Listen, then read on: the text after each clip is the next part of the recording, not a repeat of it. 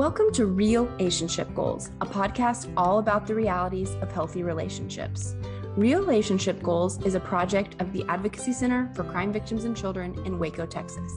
If you or someone you know has experienced sexual violence or harassment and is seeking support, services, or needs more information, links to resources and our hotline number can be found in the description.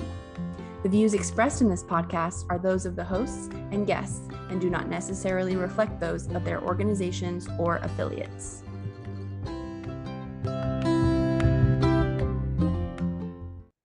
Hey, everybody, welcome back to Real Relationship Goals, episode four. My name is Kyla. I'm Ariana. I'm Maria. And we're going to go ahead and jump right in to our story today. That's me. Mm-hmm. Um, so my story um is everyone has a Dis well, almost everyone has a Disney Plus and Netflix. A lot of people. Oh, most most people. Um, but when you know COVID happened and people were like really getting into it, I would have a lot of family that was like, "Hey, do you have a Netflix? Can I borrow your password?"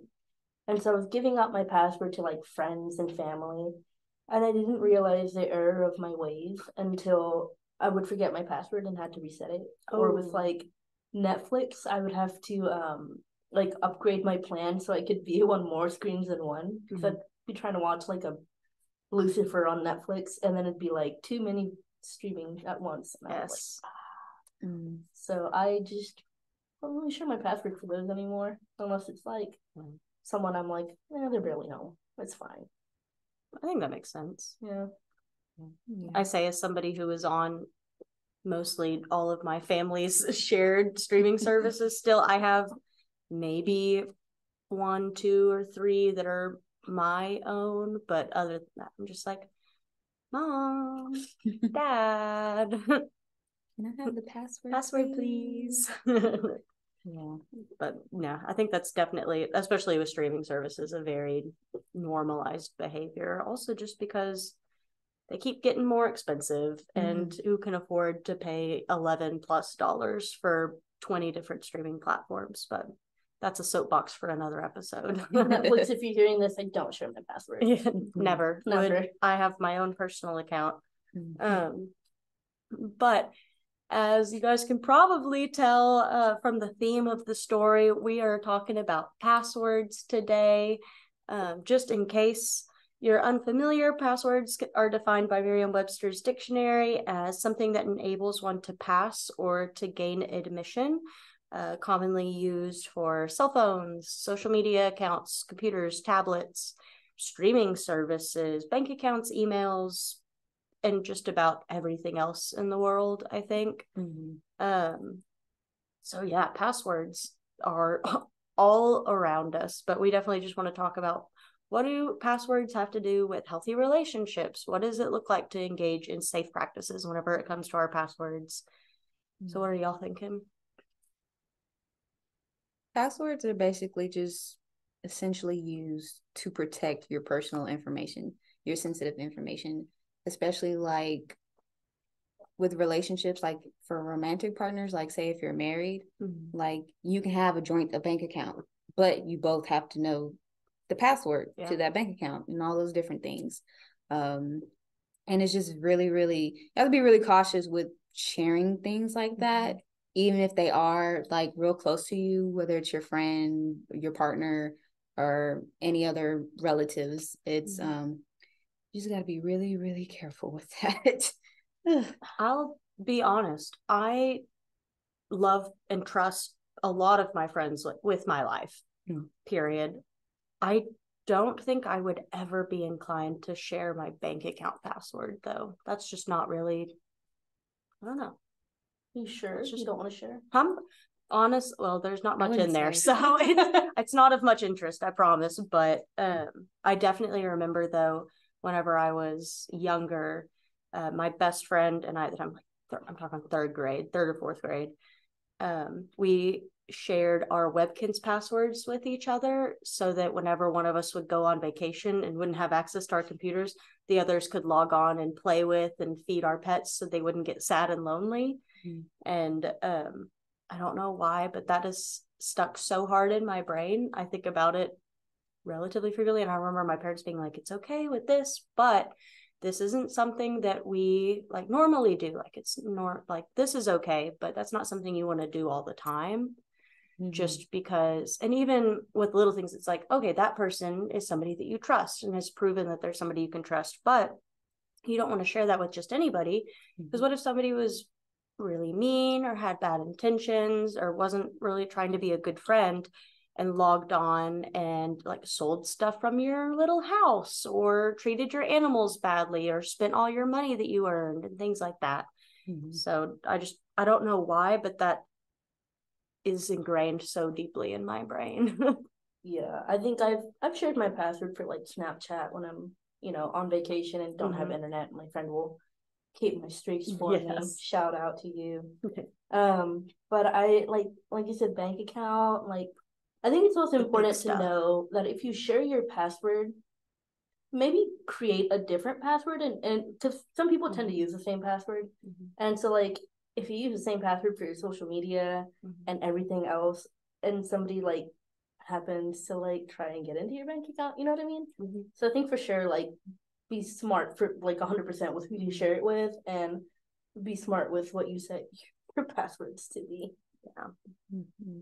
And then I think just kind of shifting the conversation a little bit. Uh, we've hit password safety. Can't say it enough. Be smart, be safe, um, take care of yourself, take care of the people around you. Um, what do y'all think about kind of that intersection of passwords and relationships? Like, who do you trust? Who do you not trust? Do you have to trust? Complex. Mm. I mean, my partner has, you know, my passwords for everything and I, I trust her to like not just randomly go into my phone and be like, who you texting? Yeah. Which I mean, I text her and my parents mainly. so I mean there's not much to it there. Yeah. But um I don't know. I like I have seen relationships where it's like, give me your password. Mm-hmm. And Demanding. I think that's yeah, like a that's like a no no, I feel like. Mm-hmm. Yeah. I just was talking with you guys earlier about how like with our groups and students how they mm-hmm. explain a lot of the times how they see sharing passwords like with their friends or with their partners as a sign of trust mm-hmm.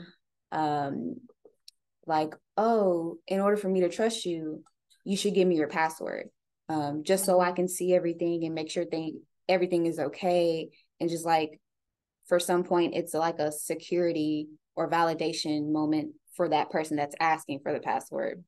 But on the flip side of that, the con of that, it could be seen as controlling mm-hmm. or manipulation, or like I said before, like demanding, like, you need to give me your password right now, mm-hmm. which is never healthy in any type of relationship. So that's how I kind of view it. Um, me personally, I don't share my passwords about with anything, mm-hmm. just for the simple fact that I had an incident mm-hmm. where I let a friend log on into one of my social media accounts, and that was fine. But Snapchat had a whole entire thing where people were getting their accounts hacked into, and you would think that it's that person. Oh. And the person would ask for your stuff, and like, mm-hmm. you know how you get a verification code? Yeah. So that happened, and I got hacked out of my own account and they were going around asking others for money. Oh no, that's and so I'm like, horrible. That's not me. I don't do that. I don't that's, need your money. that's that's not me. And so instant instance uh, incidents like that, um, like I don't share passwords with yeah. friends, family, nothing. That's super fair. Yeah. That's so horrible. I'm so sorry. that's awful. Yeah. Yeah, I definitely think go yes, I have heard also from lots of students the oh like if they won't give me their password like that means they have something to hide. I don't trust them. I can't trust them if they don't give me their passwords. Like i need to be able to like and that need to be like basically looking over their shoulder. Mm-hmm. and i just remember always thinking you're saying that you need this so you can trust them but we're clearly operating from a space in which you don't currently trust them. Why do you want to be with someone that you mm-hmm. actively distrust so strongly mm-hmm. Um, so that just always was a little bit of a disconnect for me because I'm like, if you can't trust them, that's not a healthy relationship. You need to be with someone that you can trust kind of implicitly. Like I told y'all earlier, like Everett, my partner, knows the password to my phone, but I don't know the password to his. But I've also never really asked because I wanted to look something up the other day. My phone was in another room. He was right there, and I said, Hey, can I borrow your phone? And no hesitation, he just pulled it out, unlocked it, and handed it to me. So I was able to Google what what I wanted to look up. So it's like that. I don't need that password like because also I don't I don't want to go through his text messages or check through rifle through any of that stuff because a it's not my business Mm. and b I don't feel that need to be like I said earlier kind of like looking over his shoulder double checking I just don't have that that distrust Mhm. I think some of that distrust comes from previous relationships where there was, and that's you know completely understandable yeah valid, understandable. But for sure, I think kind of like how y'all have said, uh, I don't think there is a need to know and like invade someone's privacy that way. Like it hides all of your stuff. You you don't need everybody knowing your business all the time. Mhm. yeah, you just really got to take in account of it's kind of invading someone's privacy matters Mhm. and also no one is entitled to give you their information, their passwords. Like you can have a loving, caring relationship with that person and don't need their passwords to Mhm. anything. Um, and that is a sign of trust. Like I trust you enough. I don't need anything. I don't need to have all your Mhm. passwords to all your accounts and everything like that. Um, so yeah, Yeah, for sure that's a big disconnect right there. I was like, I don't know. I can't figure it out. I was like, mm. Well, and I definitely appreciate like no one you're not entitled to Mhm. anyone's password. No one is entitled to your password. Um, and kind of tying that into what you were just saying, Maria, the it's definitely understandable if you have had a previous relationship that has caused harm, that has broken your trust. Definitely understand that. I'm so sorry that that happened. But as we've kind of talked about in the past, like your personal experiences, your personal traumas, things like that don't excuse Mhm. future abusive behaviors from you. So it's one of those things where it's like you need to fully process kind of that hurt and that trauma and what that looks like before you begin projecting that onto your next relationship and just kind of processing that because it's not the other person's responsibility to kind of carry that weight for sure. if that makes sense No, yeah. In an instance, I feel like it's kind of connects to like foreboding joy, Mm. like trying an to monitor. throwback yes to a previous Yeah. season um like foreboding joy um like trying to monitor something before it happens so like oh i already knew this was going to happen because i have the passwords and Oh, everything oh you're so right and it's like no there is no you know right way um to prevent something from happening um if anything goes wrong with that relationship um you just really have to sit there and process with that that like it could possibly happen but that doesn't mean it will happen Mhm. so you just have to really trust yourself and Mhm. trust whoever you have relationships with so That's really good. I agree. I think a kind of a natural transition here is kind of thinking now about like our parents, our adult influencers who are listening in right now. Hello to you out there. Um, how do we kind of like shift this into considering like children's passwords Mhm. and um, like monitoring their behaviors and stuff and kind of utilizing that I guess privilege of Mhm. having their passwords. Like it's a big, overwhelming topic, but kind of what are y'all's thoughts there? I mean, coming from some experience with our kiddo, like we have her passwords to pretty much everything. She doesn't even know her own Roblox password. um, we have to figure it out every time because we don't remember it. Um, I think it was similar with my Webkinz password, actually. But I mean, I don't, and of course she's young. She's not like in her teens where she's like big into whatever social media, like TikTok or whatever's going on.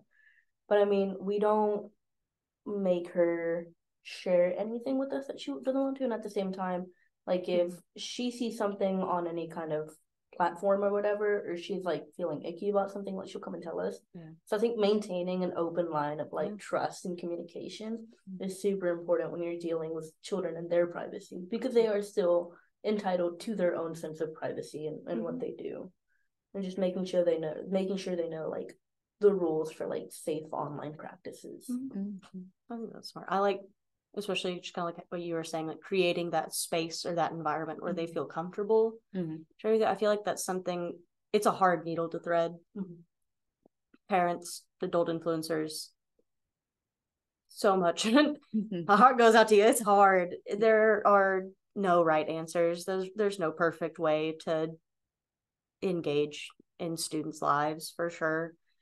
Um, but I definitely think that's such a big thing is creating that environment where, oh, you're not feeling comfortable, but I'm a safe space. I'm not just like a a punishment vending machine, I Mhm. guess, where you're doing something that I know is unsafe, and because that scares me, because I love you and I want to protect you, I'm going to punish you. It's Mhm. like, no, like we need to understand what's going on here. I need to, uh, I'm saying as a non parent. um, so once again, don't have all the answers, but this is just my thoughts.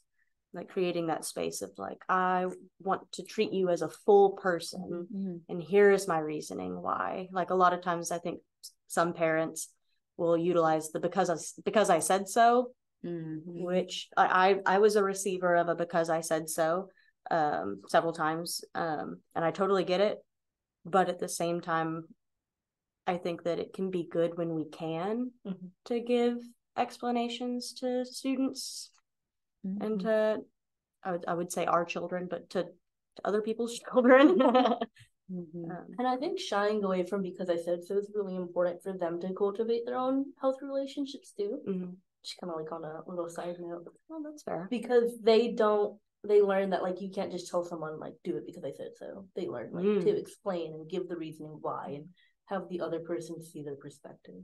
Yeah, Especially when they get into the like the teenage phase. Uh, yes. they're definitely gonna be like, oh well, why? And Yeah. I'm not understanding. So you definitely want to this feels unfair shy. Yeah, Yes, this feels yeah. unfair.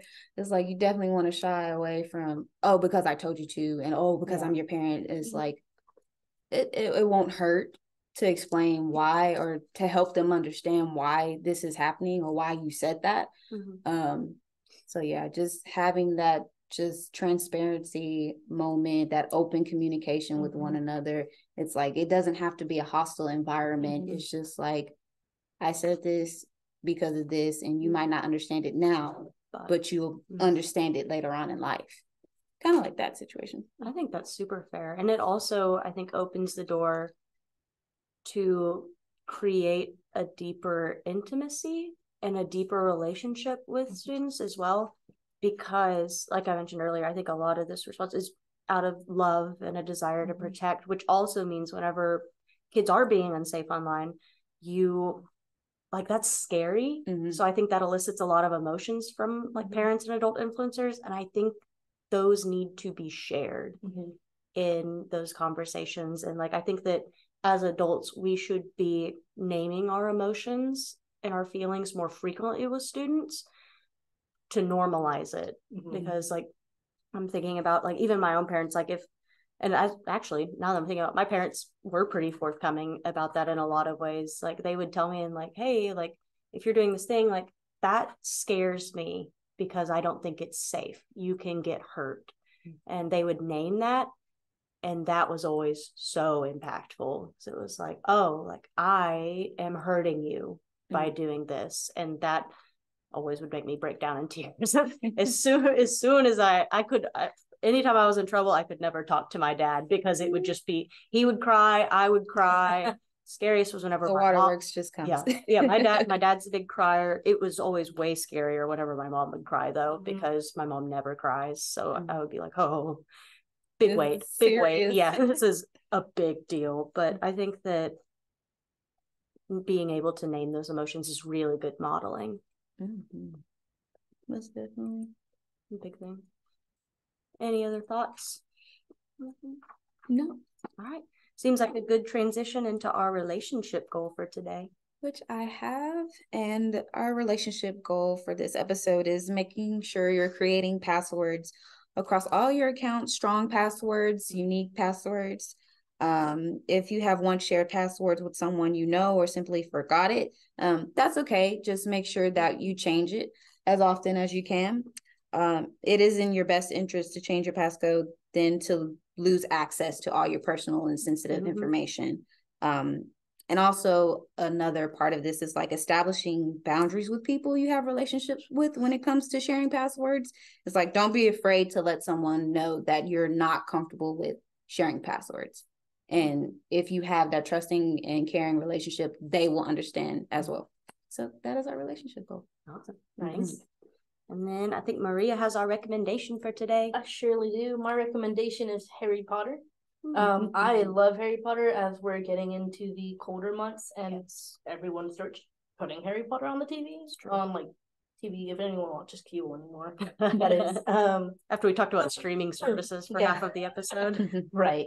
Um, but I it's always like really like a comfort thing to get like snacks and some hot chocolate and just watch Harry Potter, which is uh if you haven't heard of him, um he's a wee little boy, a wizard boy um who has to face like a wee lad who has to face something that's trying to kill him and or his friends in every movie yeah. or book um and eventually like face off against the ultimate evil big bad. Mm. big bad wolf with no nose. So yeah. Awesome. I always i second that recommendation. I love harry potter in the fall. It just feels appropriate. Mm-hmm. awesome. Well thank y'all so much uh, thank you guys for tuning in for today's episode. Um, if you're looking for more prevention and education content, please absolutely check us out on Instagram at ACCVC underscore prevention, or you can check out the Advocacy Center's social media accounts. We're on Instagram and Facebook at advocacy underscore Waco. And go ahead and be sure to like and subscribe our YouTube channel so you can stay caught up with our new episodes each week. We look forward to seeing you next time. Bye. Adios.